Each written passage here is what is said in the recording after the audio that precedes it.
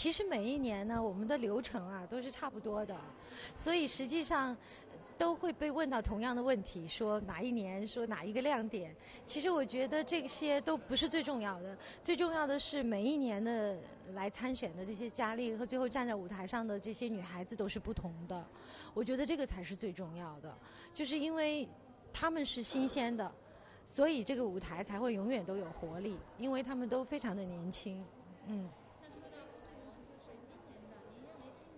嗯，嗯，嗯，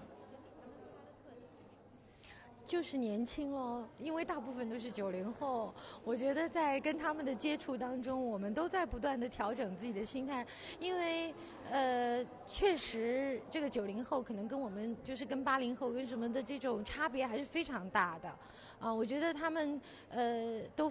是性格上都都比较的开朗，都比较的直率，然后呃讲话也都很直接，而且他们的想法让我觉得我我我们都有点跟不上时代了，